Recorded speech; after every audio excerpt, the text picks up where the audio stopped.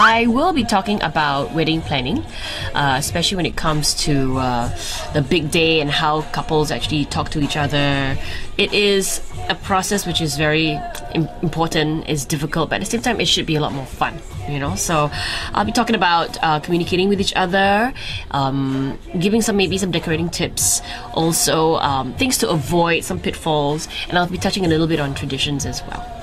I went to the Singapore Art Museum many, many, many, many years ago, and that was when this had this huge hedge in front of it, and uh, they've actually removed that. I like the fact that it's now so much more open and, and looks so beautiful. You can really see the building and its for its beauty. Um, then on the inside. I like the uh, the new glass modern effect that they've attached to the back of it. So um, that was the last time I think I actually went to a museum um, because I'm kind of busy lah. But uh, it's nice to see how museums have become so funky, you know, in Singapore. And uh, what I really would like to see is, is the um, the more modern artwork, you know, when things get really quirky. And uh, at the same time, I love history, so seeing how they've meshed the two together, it's quite unique. I like that. I like what the museums look like nowadays.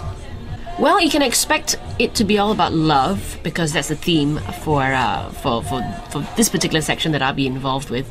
Uh, but it's something which is, I think, close to everyone's heart. Everybody, you know, likes love. So whether it's like a place to have a, a, a wedding or a place to go and pato and go dating, well, I, I guess the museum is a, a good suggestion. Hang on a sec. Explore Singapore. Let's have fun.